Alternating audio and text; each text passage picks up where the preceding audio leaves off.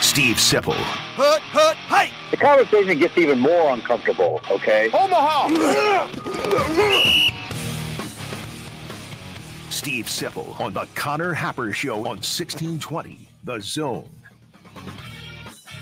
None other than Steve Sipple on the line, joining us for the Connor Happer Show today on 1620 The Zone. Austin Jacobson in once again for Hap. Steve, how's everything going out in Lincoln? Wrapping up all those coaches' talking points and everything else happening with practice today. What did you see? What'd you hear? What'd you like? Austin. Um, well, there was a lot. G- give me a specific. Ask me a specific All right. question. Perfect. Uh, yellow hats and Garrett McGuire. What what was your take on that? Are you going to be rocking a yellow hat all season long? I wondered about that, Austin. Um, I, I think there's probably some kind of purpose to that, right? Like, so his guys can see him um, on the sideline or wherever he is. I I like yellow. I do. I was just telling somebody the other day that like a a yellow Ram truck with black striping is pretty. I've always felt was pretty cool. Or it doesn't have to be a Ram, just a any kind of pickup. I always thought that yellow color was kind of cool. So I guess it would apply to caps too. I, I can't disagree. You, you're a big fan of Bumblebee the Transformer, then that's uh, your Uh, go-to. I, don't know. I don't even know who Bumblebee the Transformer is, but that that whole Bumblebee uh, car, like if it's a Challenger, Dodge Challenger, yellow and black, I like it. I mean, I've always liked that color configuration. All right. Well, we love that. We also, uh, I, I was curious your thought when it came to Dylan Raiola. We've heard a lot about him, Mhm. of course. Uh, I don't know if you've heard, he's the freshman quarterback, but w- what's he doing differently than other freshmen starting quarterbacks we've seen over the last few decades? Has he handled this role and responsibility better than Taylor or Adrian Martinez did in, in their first year? Well, I don't know about that. I mean, I mean, I would just say Austin. So far, so good. You know, uh, is he handling it any better? I don't think we'll know that until you know until the games start. Um, Adrian handled things really well. Who else did you mention? Taylor, Taylor Martinez, too. You can throw him in there. Yeah, Taylor handled Taylor handled it well. They had those guys handled uh, August well, and they you know they they were ready to go. Um, so I don't know that Dylan is necessarily doing anything much better that's discernible, at least to someone who's not there every day, which I'm not. I'm not in the building every day. No, you know, I'm not part of the team. I I I would tell you this about Dylan. I I never worry about him. I never really worried about Adrian either, though. Um, for similar reasons. In fact, there's a it's a kind of a similar discussion. They're both very mature. They're both guys you can count on. They're both smart football players. Although I give Dylan an edge in that. I hope Adrian's not listening. I, I mean, Dylan's really advanced. Taylor was advanced too, but Dylan kind of takes that part to another level. And I'm talking about what he sees at the line of scrimmage, his ability to check in and out of things is really high level for someone that that that age. Um, I just, I guess the best way to put it is, I never worry about him. That's the he's about the least of my concerns on that team, and that's saying a lot about a freshman. But he's a different kind of freshman. Yeah, a lot of other concerns that came up throughout the week. Obviously, Teddy Prochazka out for the year at offensive tackle. Turner Corcoran still in with that first team role, but a, a younger lineup they went with, as reported through the media session earlier today. What was your take on how the offensive line depth is being built, especially with some of the younger players that might need to step up? oh boy, yeah, they got to. It's going to be an interesting August now. Okay, I mean, you have to take into account that that line goes against a very good defensive line. Uh, You know, it, maybe one of the nation's best. So everything has to be judged in that context. But if you take pro, I'll, I'll- I'll do it this way, okay? And I'm I'm fixing to write a Sunday column about this, so I have to start getting my thoughts together. If you take Prochazka out, which he's out, he's out for good. Um, Corcoran didn't practice today. Okay, he's out, and then Lutovsky's out you know, neither Lutovsky nor Corcoran are out for good. Obviously, they'll be back. But when you take Prochazka, Corcoran, and Lutovsky out, it's trouble. It's just trouble. It's not. I don't know how they're. They, I don't. You don't want that to be the case against Colorado. I mean, you might be able to get by UTEP. I mean, that's got to it'd make the UTEP game interesting. I'll tell you that. That's my opinion. If those three are all all not available, um, or those we'll say Lutovsky and Corcoran are not available, they I hope they're available. Um, they they have pretty good depth, but not great. I mean, I the whole media narrative that the O line and the D line have great depth was incredibly false. I mean, the D line does, the O line doesn't. Um, so, ah, no, it's hey, listen, I'm going to tell you something, Austin. There's a challenge over there right now. I mean, that scrimmage tomorrow, which nobody's going to see, is going to be really interesting. I'm glad you brought up the Colorado matchup as well. It, it felt like at, this time last year, Matt Rhule and some of the other pundits and everywhere and circling around Nebraska football was talking about Colorado in almost whispers, right? It, it was like offhand comments that people had to link back to how Rhule was talking about Coach Prime or the Colorado program. Do you feel like there's a different approach to this year's matchup than last year? Oh, trying to think back. I don't know how much different it is. You know what? What I, how I'd answer that question? I don't think anybody's thinking about it right now over here. So I don't know what their approach is. I think they they're not. They got issues of their own to deal with. Um, now, I mean, I don't think. Um, I don't think they're thinking too much about Colorado right now. I think if I were the coach, I would I would be very intent on making sure that's the message that we got to beat UTEP. All right, UTEP's UTEP's going to be. I mean, Nebraska's not in a, a position to overlook anybody.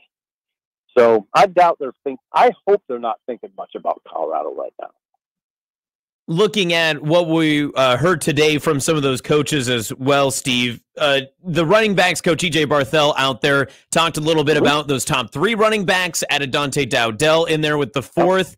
Is there one back that is standing out amongst those four, or is it truthfully a running back by committee, and that's the expectation at least through the first few weeks?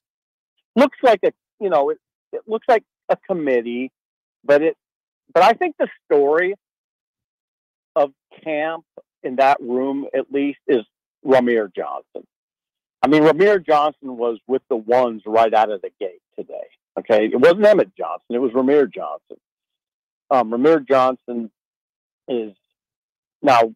I thought maybe the key quote of the day from Barthel was that Rahmir looks better than he's ever looked since since EJ's been here. Now it's only been two years, but he does look really good. Rahmir looked good today.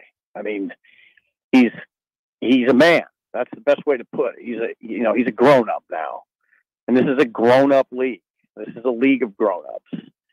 Um, if you're not, you then if you're not a veteran player, you must be really good if you're playing as a young guy.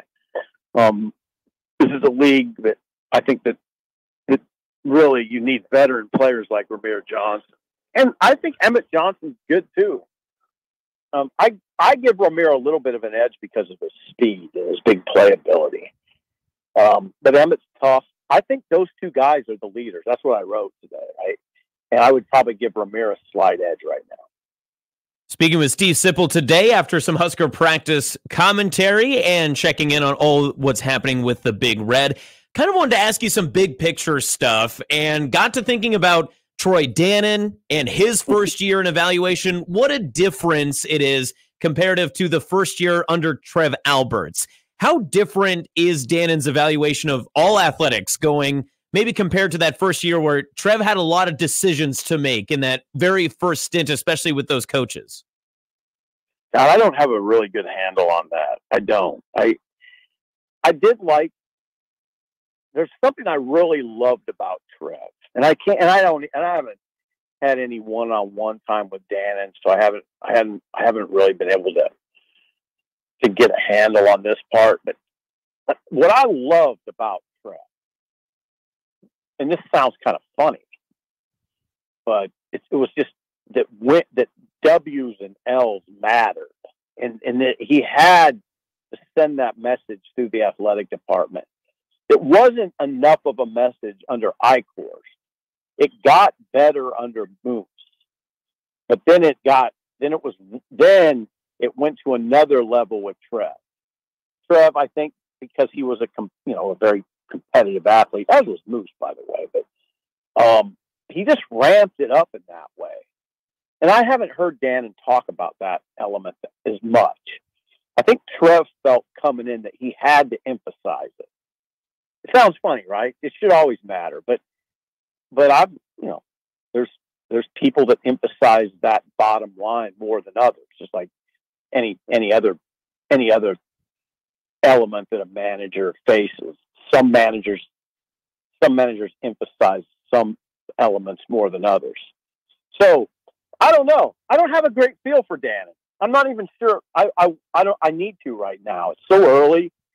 I'm not signing off on ads like I used to. Like, oh yeah, I think he's great. I don't know. We'll see.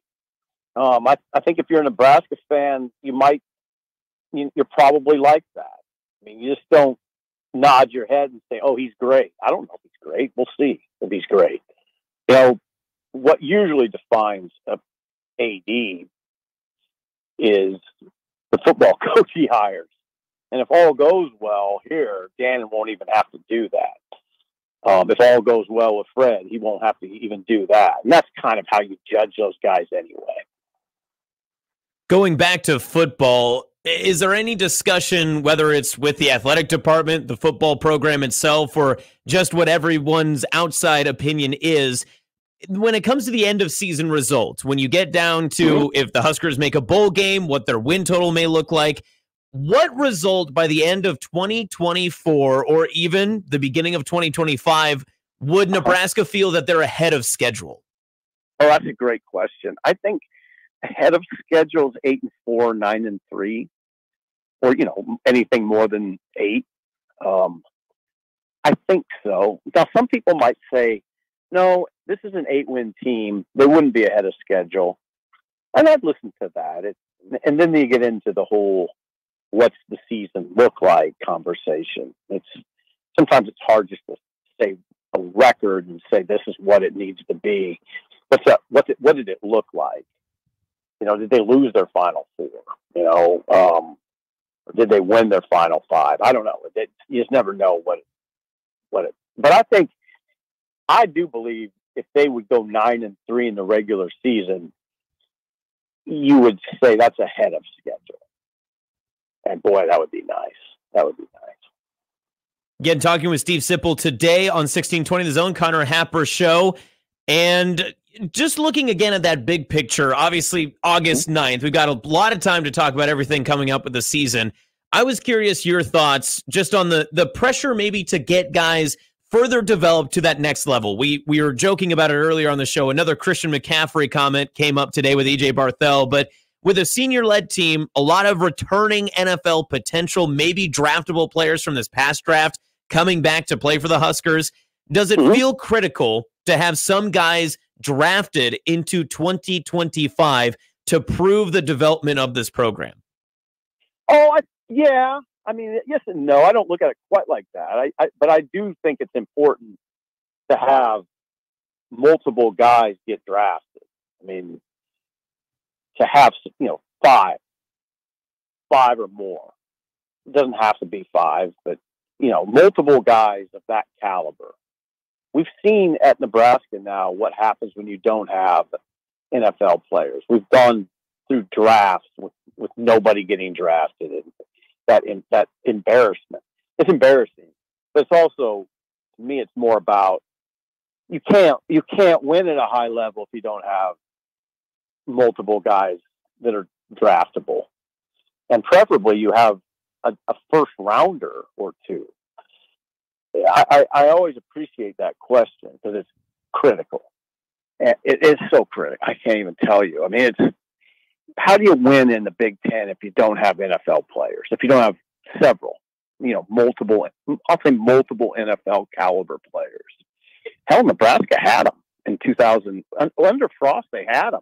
Still didn't really didn't you know win at the level they needed to, and they didn't have enough of them. And and I'm not talking about guys that just squeak in the draft.